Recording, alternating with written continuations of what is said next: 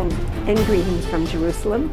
My name is Joan Lipis, or hashtag Joanie in Jerusalem, welcoming you again to Lunchtime Prayer for Israel.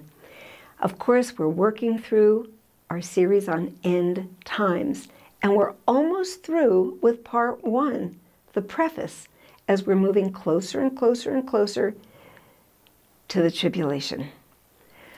Well, the title of today is Seven Years to burn the weapons. You heard me right. Seven years to burn the weapons. Well, the final stage of the cleanup after the Ezekiel 38 war will be the burning of the, na- of the weapons.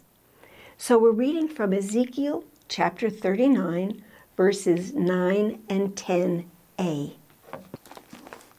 Okay?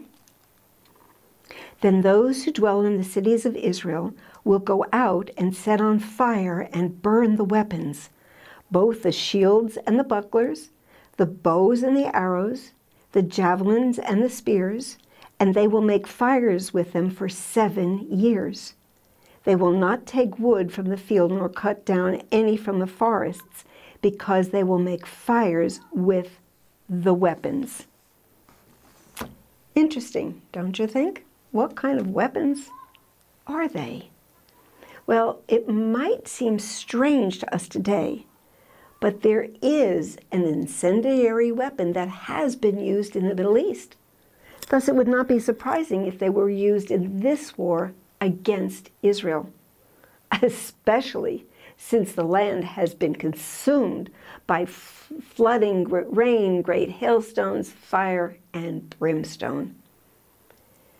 Though often these weapons are referred to as bombs, they're not, in fact, explosive. Incendiary weapons are designed to burn or to set fires. They are used as anti personnel strikes or destroying sensitive equipment. The incendiary material is designed to penetrate plate metal and can thus go far beyond destroying human skin. These time and energy consuming requirements add to the mystery of the timing of the Ezekiel 38 war and its cleanup. So, as you've heard me say, I believe that this war is on our horizon. I believe it's going to be very, very close. And that's why we need to be watching very carefully to what's happening. So that's why we want to pray for Israel that they will be prepared for a nuclear or a chemical war, which we have said in previous sessions, it looks as if that's going to describe this war. So your prayers are really, really important. So I thank you for them. And don't forget to subscribe and to keep in contact with me. Amen? Amen. So with that, I do say, Lehitraot, Shalom from Jerusalem.